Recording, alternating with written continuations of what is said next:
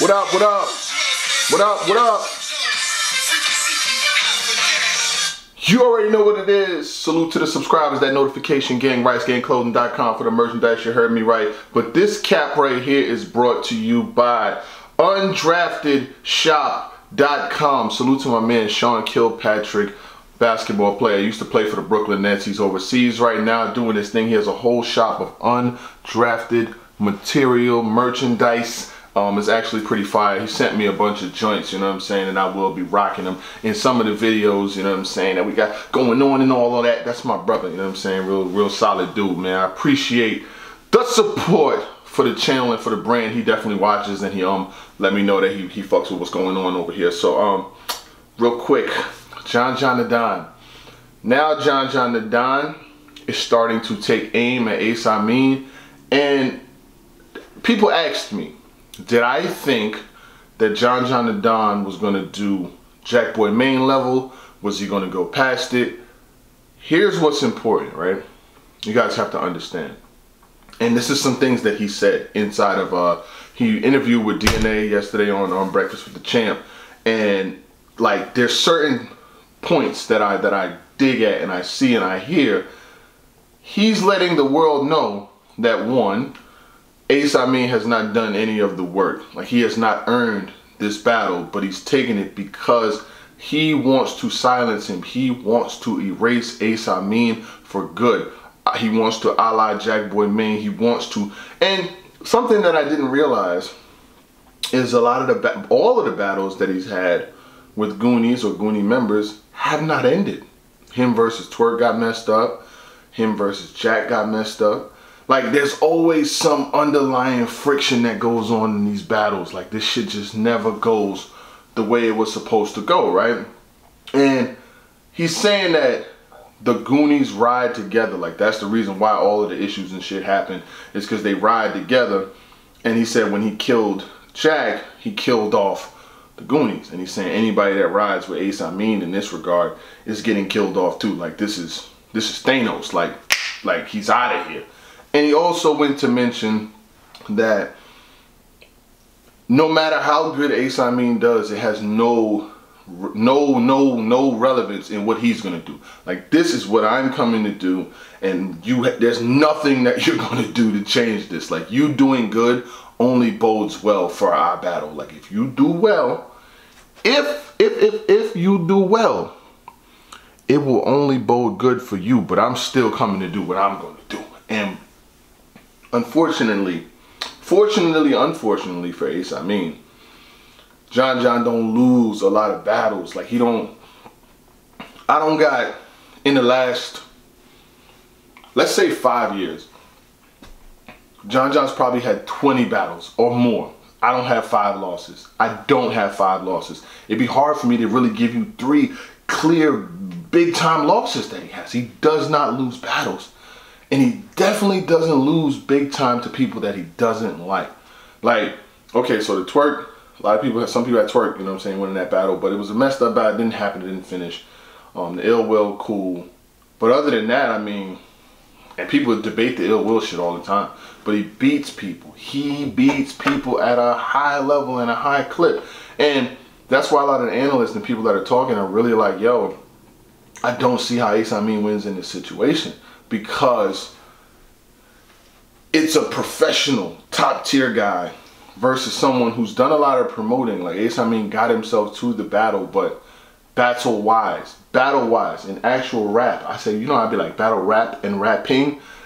He can rap, but he hasn't done it against anyone that's really worth me talking about right now. Like I, I what MC? I don't. I, I, I draw a blank. Ultimate Madness. I mean, come on. That You've seen the winners of Ultimate Madnesses, like you know, Fonz won one respectfully, Holmesy won one respectfully. Eazy the Block Captain and Real Sikh did not win Ultimate Madness, and their their careers are kind of above them. You know what I'm saying? No, no harm, no foul, but it's kind of like a crapshoot. You battle the right person, you win. You happen to make it on to round by round by round. So here's my thing for John John, right? Not only do you have to win this battle, you kind of have to body him. You have to body bag him. Like, it can't be no, if it's a debatable, if Ace Amin has a debatable battle with John John Da Don on Bullpen on March 20th, like John John's house, John John's league, John John's stage, Don, John John's setup, if Ace Amin has a debatable, people are saying like oh, it could be 2-1 going either way, I had it 1-1 going into the, that's not enough. That is not enough. Mm-mm.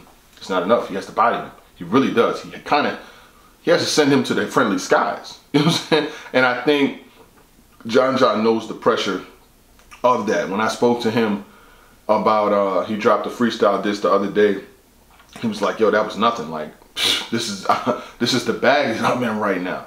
And scary as it is for Ace Amin, I know he really don't give a fuck. And really, he's um, in a win-win situation because even if he goes into this battle and doesn't win, nobody thought he was gonna win anyway. Unless it's you know the niggas around him and shit like they you know I got him, but like any of the outside heads, you know what I'm saying? I fuck with Ace Amin. I promoted both of his records on this channel. I dropped the Baptist when it happened. I dropped Code Red when it happened. I fuck with Ace Amin off the court. He's a solid individual. I like what he stands for as far as personally. I watched his DJ Smalls interview from beginning to end. I have no issue with him. But I cannot say in a battle, in a rap battle, I said it before, I was like, what has he done? You know what I'm saying? Like, what has he done?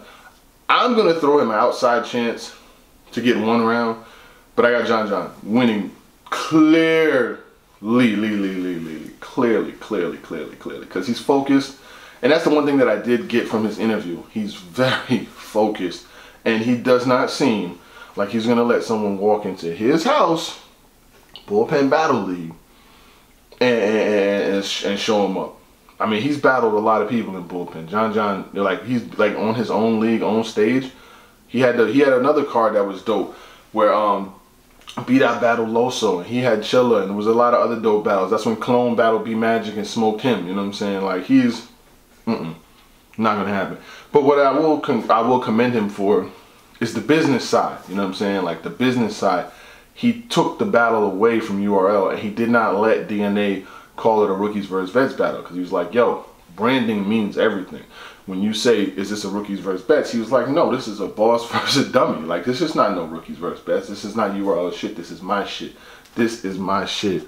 He's not letting nobody go out like that. And I know he's smarter than to just let somebody take his brand and call it something else. But um, Ace Amin, he's proved once again that promotion can get you where you want to go. Like just being able to talk that shit, being able to get under people's skin, being able to like really, really, really drive your point home, like it could take you anywhere. You know what I'm saying? It really can. But the thing is, when you get there, are you gonna prove? Like, what are you gonna prove when you get there? When you get the shot, when you get the shot, is it gonna is it gonna equal anything? Or are you gonna get your fucking head sniped and clipped off? Because um, he said it when he battled Jack. You know, y'all niggas is jumping in the crowd with him.